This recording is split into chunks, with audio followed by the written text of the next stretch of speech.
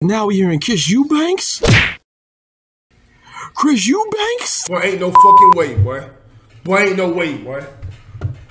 Boy, ain't no way, boy. If I tell you I'm good, probably you will say I'm boasting. But if I tell you I'm no good, you know one line. Yo, what's good, YouTube? It's your boy, Dr. PG Empress. Got to get money back for the YouTube video.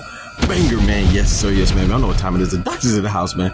Check this out, dog. Like, this, this, this can't be real, man. You know, uh, y'all know how I feel about my boy, Saul Canelo Alvarez, man. Old Cinnamon, man. That's one of my favorite fighters. You know what I'm saying? Uh, him and Tank Davis currently right now, but forget all that, man. You know what's crazy, man? It has just been announced.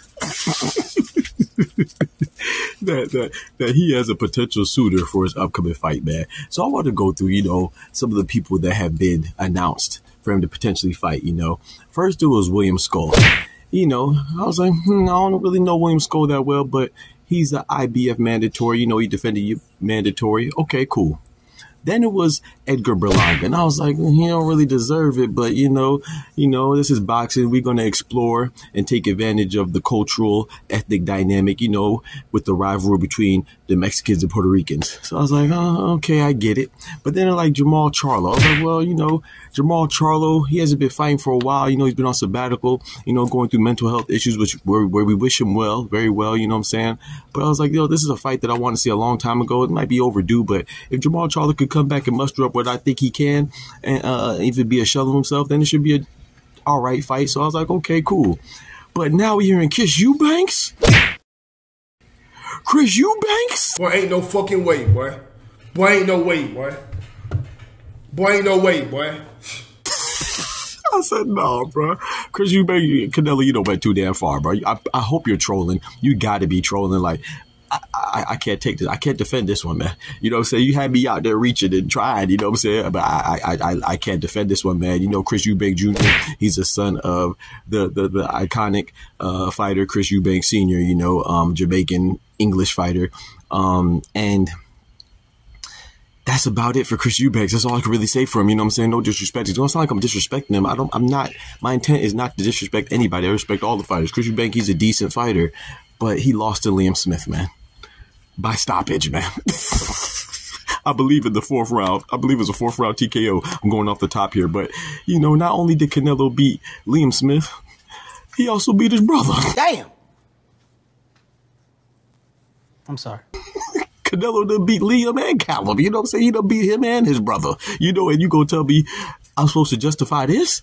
Come, come on, come on, Canelo, you got to be trolling. Like, you know, it, it, this has to be a troll. So uh, uh, until I actually see uh, um, uh, actual negotiations and where it says uh, uh, they add further specificity by having a date. They isolate a particular date when the next fight is coming. I'm just going to take all this as trolling, and I'm going to I'm, I'm to take it with a grain of salt, man. There's no way he's fighting Chris Eubanks Jr., bro. Like if he's if he's fighting Chris Eubanks Jr., man, that that, that is crazy, bro. Like I just made a video about David Benavidez um, on Monstro calling Canelo a duck, man. And, you know, like I said, to me, the word duck is overused in boxing communities because you know, duck implies that you're scared. You know, I, I don't think I don't think any and the majority of these fighters, I don't think any of them, I don't think the majority of fighters are actually scared of other fighters. You know, it's just, you know, other reasons like business reasons or, you know, um, um, maybe it's not an advantageous time or, you know, negotiating between the two, uh, uh, uh, parties, you know, um, promotional and otherwise. But yeah, I can't justify this, man. If you could justify this, man, help me out in the comments because this is crazy, bro. If he fights Chris Eubank Jr., bro,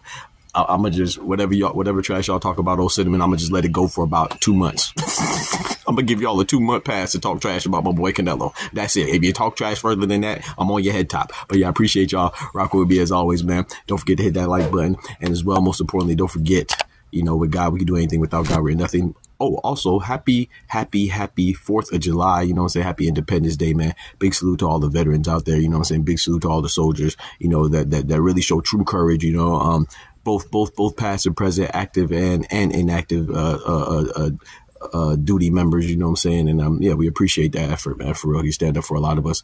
Uh, for those who can't always stand up for themselves, man. So all the good people out there, man, especially those that are soldiers. Happy Fourth of July. Uh, enjoy your Independence Day, and hopefully you got the day off. If not, quit. appreciate y'all. The doctor's out. Peace. From the hood to college, both worlds they had to meet. Six degrees between us, so cold we're about to freeze. But we're Florida boys, hot takes, we bring the heat. We're moving the culture, the engineers to the streets.